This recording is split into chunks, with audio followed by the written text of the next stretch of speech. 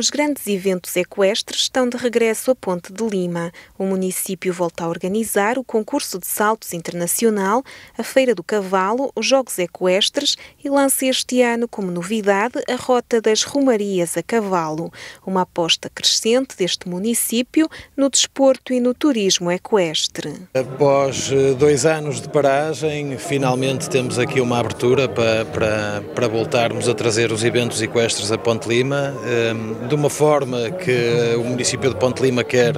que seja com uma força e uma dinâmica diferente.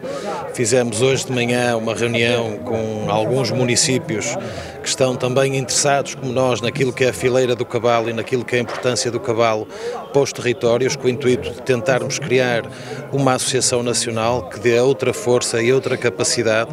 para que nós possamos, de uma forma mais célere, mais prática, junto das entidades governamentais, conseguirmos ter uma força maior naquilo que é até a garantia de financiamentos para nós conseguirmos, dentro dos nossos territórios, eh, fazermos estas ações com mais alguma força, com mais alguma importância. Ponte de Lima é já considerado um destino equestre internacional de excelência. Com grande satisfação que vemos voltar uh, a atividade equestre deste nível a Ponte Lima uh, e de facto Ponte Lima já é uh, já está no, na rota dos melhores eventos desportivos, não só nacionais, mas também internacionais. Como foi o caso que dissemos hoje aqui, de todas as, as atribuições que têm sido em termos de, de, de prémios conquistados,